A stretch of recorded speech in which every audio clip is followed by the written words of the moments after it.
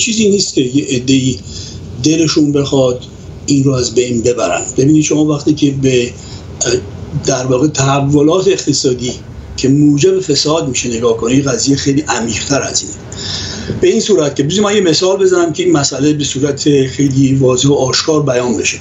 شما فرض کنید در ایران ما چیزی که همیشه داشتیم نرخ چند ارزی است. وقتی که شما نرخ چند ارزی دارید در یک مملکت. دلایل رو به دلایل رو من اشاره می‌کنم که باز مسئله روشنتر بشه. این طبیعیه که ای که نفوذ دارند و تماس دارند و می‌تونن نرخ رو ارزانتر بخرن خواهند خرید.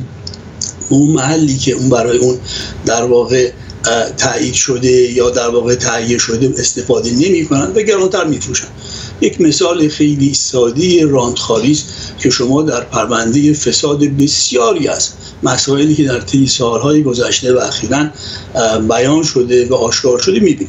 حالا بحث اینه که چرا دولت انتخاب می‌کنه که نرخ چند ارزی رو ببره جلو به جای اینکه بخواد اگه می‌خواد سوبسید بده از روش دیگه. اونم باز برمیگرده به تنگناهایی که در اقتصاد این اقتصاد جمهوری اسلامی برای خودش ایجاد کرده. به عبارت دیگه شما اگه نگاه بکنید مسئله عمده ای رو که شما در اغلب این تنش ها و گرفتاری ها می‌بینید مسئله مربوط به معیشت مردم.